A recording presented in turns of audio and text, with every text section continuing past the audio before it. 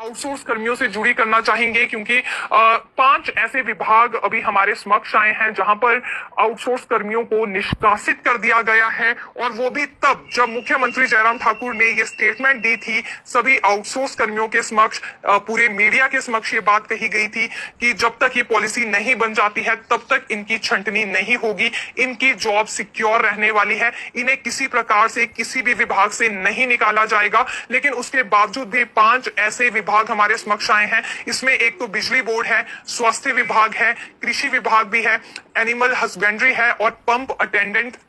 विभाग है, जहाँ पर कुछ एक छंटनियाँ हुई है। ये मामले हमारे समक्ष आए हैं और ये जानकारी जो है आउटसोर्स महासंघ के जो अध्यक्ष हैं, शैलेंद्र शर्मा, उनकी ओर से दी गई है।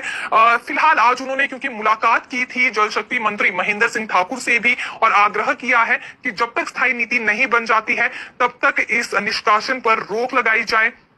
और तु, तुरंत प्रभाव से एक्शन भी लिया जाए उन कॉर्पोरेशन पर उन विभागों पर जहाँ पर ये छंटनियाँ हो रही हैं। क्योंकि इससे पहले देखिए एक मामला यहाँ पर कोविड 19 स्टाफ का देखा गया था जहाँ पर करार खत्म हो गया था लेकिन फिर सरकार ने एक्सटेंशन दी उन्हें। तो अगर कुछ एक केसेस में करार खत्म हुआ है तो ज़ाहिर सी बात है वहाँ पर भी कोविड 19 के तर्ज पर ही जो स्टाफ को वहाँ पर एक्सटेंशन मिली थी उसी के तर्ज पर उन्हें एक्सटेंशन दी जानी चाहिए। और कुछ एक मामले ऐसे भी हैं जहाँ पर बेवजह ही अभी छंटनी हो रही है। हालाँकि इनकी ओर से आग्रह तो ये भी किया गया है कि डाइंग कैडर्स का जो डाटा मांगा गया है जल शक्ति मंत्री द्वारा, उसे जल्दी से जल्दी एकत्रित किया जाए और उसके बाद जल्दी ही फिर ये नीति का प्रारूप तैयार किया जाए। अभी हालाँकि आखिरी सुझाव भी जो स्टेयरिंग कमेटी है उसकी ओर से लिए जाने हैं लेकिन उससे पहले ही हम ये देख रहे हैं कि मामला जो है काफ़ी ज़्यादा गंभीर होता हुआ नज़र आ रहा है जिस तरह से निष्कासन का मामला सामने आया है क्योंकि इसी पर्पज से तो ये पॉलिसी की मांग कर रहे हैं। अ, पहले भी ऐसा ही होता था